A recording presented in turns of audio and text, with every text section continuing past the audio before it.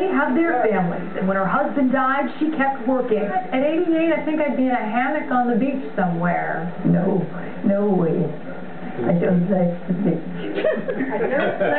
So you want to keep working? You just want to keep working? It's in the genes. She was born in Northern Ireland. She worked hard her whole life. She says if people don't like the food, well, she'll get them something else. But the customer isn't always right. And customers love her. And I love you. yeah, and yeah.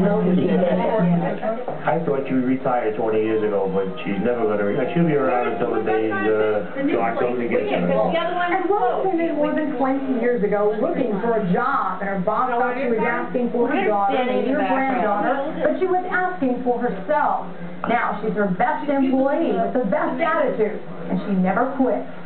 I feel like she's my boss. and that's the way it's been. She just, she's an inspiration. I mean, she's just, you know, she's a go-getter. Why does she work so hard? Rose says it keeps her young. Do you feel any How old do you feel? Don't you just love her?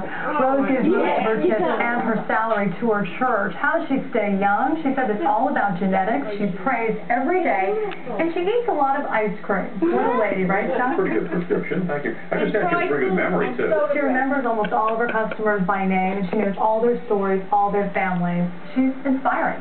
Great story. Thanks, Molly.